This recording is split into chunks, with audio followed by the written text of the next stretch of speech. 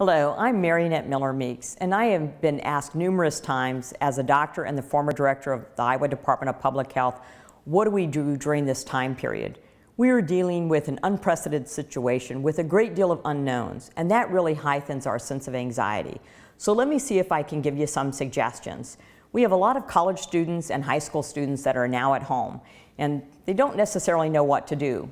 So they can bury themselves in their phone and their electronic devices, but let me suggest something else.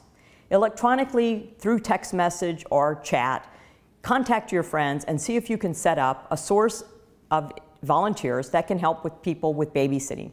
You could do free babysitting for people as long as you don't have a fever and you don't have symptoms. See if you can find who needs babysitting in your, in your community if kids are home from school, younger children, or if the parent has to work, or if their daycare situation is no longer available to them.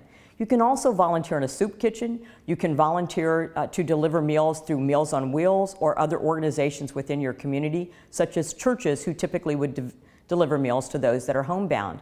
You can also volunteer to take food to a food pantry if people want to um, to donate food to a food pantry. And also you can check in electronically with people within your community, especially those that are elderly and homebound and are at high risk uh, for uh, sickness with the coronavirus.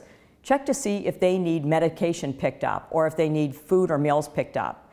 So there are a variety of things that you can do to step up and be a leader within your community while you're out of school. So I would suggest get together electronically, set up a network of people that can check in on elderly people, that can volunteer and be a leader in your community. Together, we are going to get through this and we're going to come out as better on the other side.